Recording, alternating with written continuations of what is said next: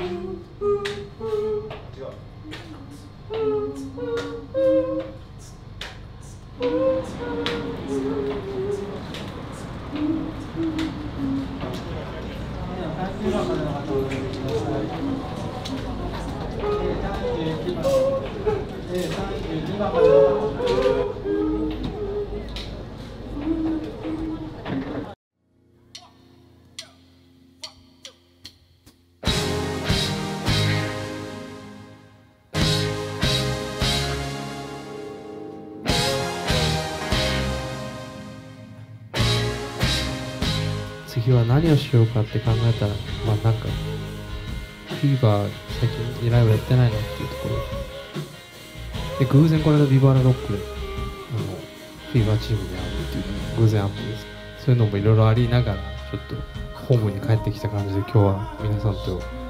家のような感じででも新しいみたいなのを作りたいなと思ったので。